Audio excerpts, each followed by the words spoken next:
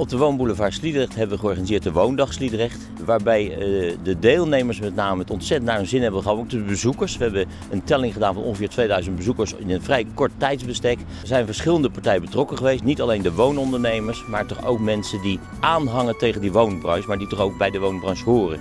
Moet je denken aan mensen die uh, huizen verkopen, makelaars, assuradeuren. Uh, banken, mensen die groenvoorziening doen. Zelfs mensen die water gefilterd kunnen leveren.